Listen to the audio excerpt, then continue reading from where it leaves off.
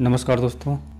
आज की वीडियो में आप देखेंगे, ये सैमसंग की एलईडी टीवी है, जो कि 32 इंच की है और मॉडल नंबर आपके सामने शो हो रहा है, इक्यावन सौ तो इसमें कुछ प्रॉब्लम इस तरीके से कि वन साइड पिक्चर ओके है और अदर साइड पिक्चर डिस्टर्ब है। यानी हमारा जो है राइट साइड डिस्टर्ब है और लेफ़्ट साइड ओके है। यानी ये राइट साइड हुआ। इस साइड में जो है पिक्चर हमारा डिस्टर्ब है। और डिस्टर्ब दोनों साइड समझ लीजिए, क्योंकि एक साइड से प्रॉब्लम सॉल्व नहीं हुआ। यहाँ पे मॉडिफाई दोनों साइड हमको करना पड़ा है और जिस टाइप से हमने जो है यहाँ मॉडिफाई किया है, वो आप इस कंडीशन में आप देख सकते हैं। तो सबसे पहले आपको ये कंडीशन दिखाएँगे जहाँ पे आपको फॉल्ट देखने को मिलेगा। तो चलिए देखते हैं। यहाँ पे आप देखें, अभी इस कंडीशन में है और अभी हम यहाँ पे जो है पिक्चर ले लेते हैं। उसके बाद हम आप देखें कि किस तरीके से ये बंद होता है। यानी प्रॉब्लम तो देखने से क्लियर है कि यहाँ पे आप देखेंगे तो वर्टिकल ब्लैक कलर की लाइनें जो है आपको देखने को मिलेंगी। यानी कि फॉल्ट इस साइड में है। अब हम आपको यूएसबी मोड पे पिक्चर लेके दिखा रहे हैं। तो देखिए, पिक्चर कुछ इस प्रकार से दिख रही है, जो कि ये राइट साइड की कंडीशन है। इस समय जो है लेफ़्ट ओपन है, राइट लगी हुई है। यानी एफ़ एफ़ केबल को बता रहे हैं, जो कि पिक्चर आपको देखने से यहाँ पे वर्टिकल बार मिलेंगे, जो कि वीडियो में स्पष्ट दिख रहा है और पिक्चर की क्वालिटी भी कुछ इस तरीके से है। अब यहाँ पे आप देखेंगे अभी थोड़ी देर बाद जो फॉल्ट की कंडीशन है, वो आपको अभी आगे दिखेगा तो देखते रहिए।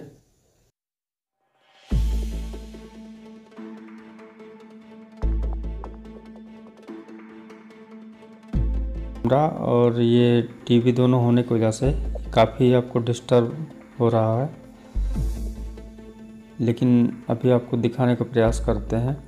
थोड़ा समय लगता है, क्योंकि इस कंडीशन में हमने जो है कस्टमर को थोड़ा सा रिपेयर करके दिया था। वो करीब दस दिन, पंद्रह दिन पे जो है रिटर्न आ गया, क्योंकि फॉल्ट ये कोई निश्चित नहीं था कि कितने देर में ये बंद होता है, लेकिन यहाँ हमने जो है एक एक कंडीशन को टेस्ट करके आपको यहाँ पे दिखाने का प्रयास किया है। तो अभी आप देखिए कि कैसे ये बंद होता है। ये देखिए, यानी एक झलक ये जो आपको मिला, ये इसका, इसी तरीके से इसके प्रॉब्लम होते थे दोनों लगाने पे। और हमने जो यहाँ पे फॉल्ट निकाला है, ये पैनल रिपेयरेबल नहीं था, लेकिन उसके बाद हमने जो अपना आइडिया लगाया, उसके आधार पे ये पैनल ओके हो गया और कहीं से भी कोई प्रॉब्लम नहीं जैसे नए जैसा, वहाँ पे कहीं पे किसी प्रकार का पिक्सल डिस्टर्ब नहीं मिलेगा। तो हम जिस आइडिया से इसको रिपेयर किए हैं, वो आप लोगों के साथ शेयर करना चाहता हूँ। तो इसलिए यहाँ पे आप देखेंगे, ये इसका मॉडल नंबर है और यहाँ पे आपको दिखा दें, ये पैनल नंबर है। और यहाँ पे आप देखेंगे तो ये राइट साइड की एफ़ केबल और लेफ़्ट साइड की एफ़ केबल दो सामने हैं। और यहाँ पे हमने जो है प्रोडक्शन पिन को यहाँ कुछ इस तरीके से यहाँ पे जॉइंट कर दिया है, जो पहला काम किया है। यानी लेफ़्ट साइड में हमने जो है, जो प्रोडक्शन पिन अंदर से यहाँ पे जा रही थी, उसे यहाँ पे ब्रेक करके और एक अलग से जो है प्रोडक्शन पिन यहाँ पे, उसकी सप्लाई जो है प्रोडक्शन पिन पे दे दी है 3.3 वोल्ट और यहाँ पे आप देखेंगे ये BGH और BGL और ए बी कॉम सारे वोल्टेज नॉर्मल हैं।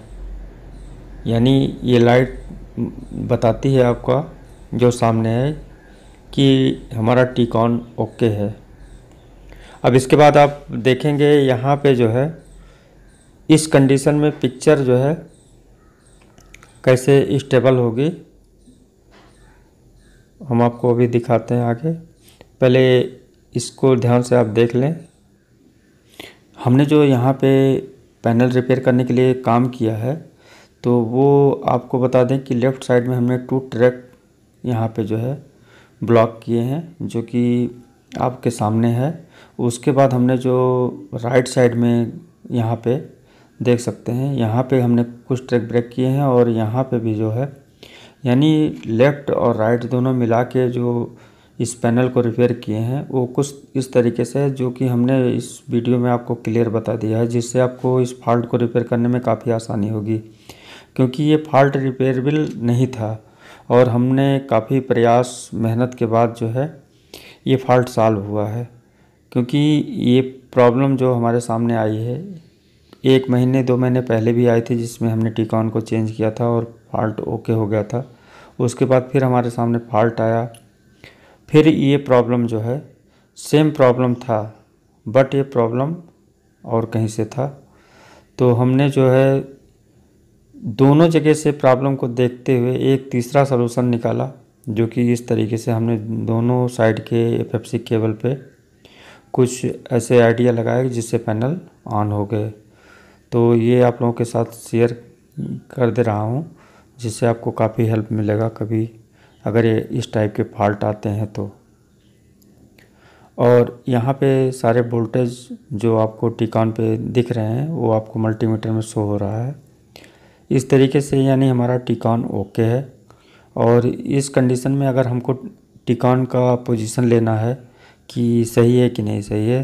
तो यहाँ पे हमने, हमें जो है प्रोटेक्शन पिन को 3.3 वोल्ट जो है दे के कंडीशन ले लेना है कि हमारा टिकान ओके है कि नहीं। अगर इस कंडीशन में टिकान हमारा ओके है तो फॉल्ट हमारा सोर्स पीसीपी का है।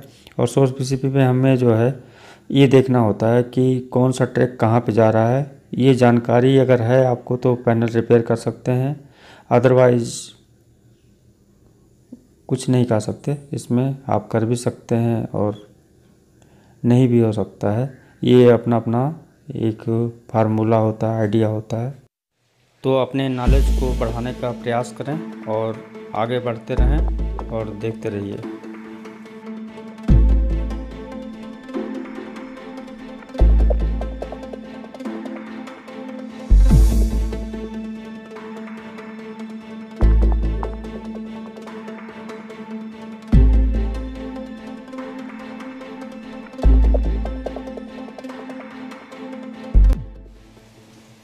ये वोल्टेज जो आप देख रहे हैं मल्टीमीटर पे, यहाँ पे वोल्टेज आप देखेंगे तो इससे आपको जो है काफ़ी हेल्प मिलेगा। अगर कभी यहाँ पे प्रॉब्लम देखने को मिलेगा टिकॉन पे, कहाँ पे BGS है और कहाँ पे BGL है, ये आपको यहाँ पे स्पष्ट दिख जाएगा मल्टीमीटर के द्वारा। इसलिए यहाँ पे हमने जो है वोल्टेज को मल्टीमीटर पे दिखा दिया है। तो देखते रहिए।